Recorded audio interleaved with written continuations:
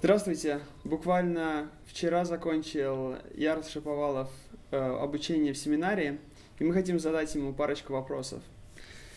Расскажи мне, пожалуйста, о своем прошлом и как ты пришел ко Христу. Да, меня зовут Ярл Шаповалов.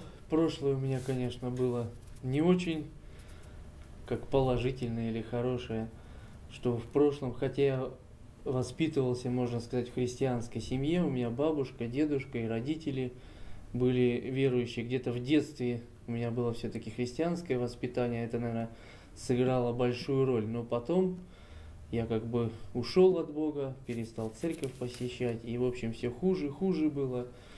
В общем, дошло до того, что и в тюрьме сидел, несколько судимостей было употреблял наркотики, около четырех лет легкие, и потом последние пять лет тяжелые наркотики, это опиум, героин.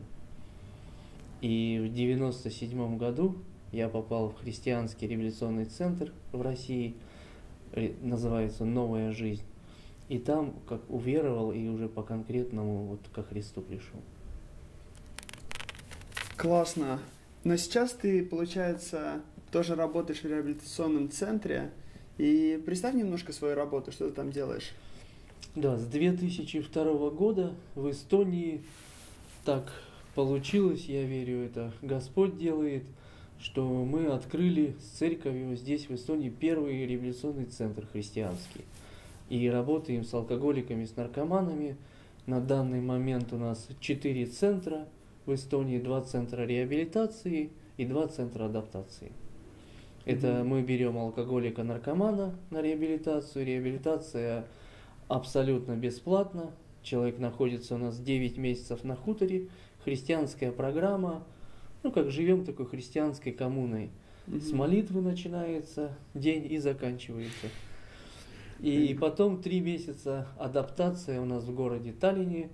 И если человек не определяется с жильем, с работой, с многими другими социальными такими вещами, у нас еще в Кохлоярво есть центр адаптации до двух-трех лет мы еще можем предоставить человеку, ну как место угу. для жилья. И христианское, как можно сказать, адаптационный центр такой более длительный, как христианское такое общежитие. А как помогла семинария и обучение здесь в семинарии тебе служение? Да, я давно хотел пойти в семинарию, ну, наверное, не пошел из-за того, что у меня не было 12 классов среднего образования. И потом вот, это получается сколько, 4 года назад, я пошел, закончил одновременно и 12 класс, и первый курс семинарии. И семинария, конечно, очень сильно помогла. В семинарии, конечно, очень много преподается таких ну, предметов, которые на практике хорошо, когда ты обучаешься и сразу на практике их используешь. Это, наверное, самый лучший вариант, что я уже был как бы в служении на практике, и мне семинария очень сильно помогла. Просто есть такая русская пословица, что мозг – это как мышца, он если не работает, то он атрофируется. И нам, верующим, наверное, больше всего надо все-таки учиться, учиться и квалификацию свою как в христианских, в богословии, так и во многих других сферах и социальных, и психологии, и душепопечительства. Мне огромную пользу. Так в двух словах, наверное, не объяснишь. Сложно. Да, сложно объяснить.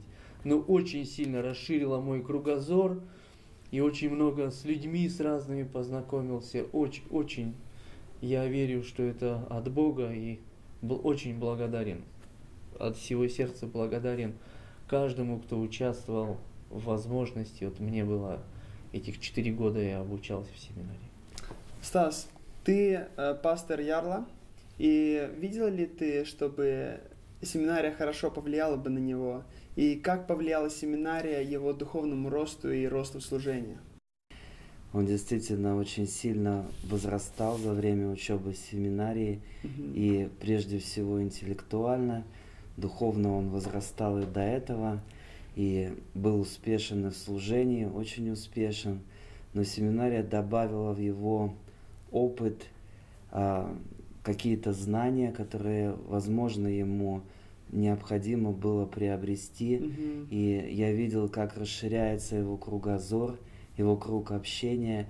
И так как он является моим другом, и мы общаемся на уровне э, близком, на уровне дружеском, я однозначно видел и признаю этот факт, что для него семинария была очень полезна, и Мгм. он развивался во всех отношениях на протяжении всей учебы. Аллилуйя.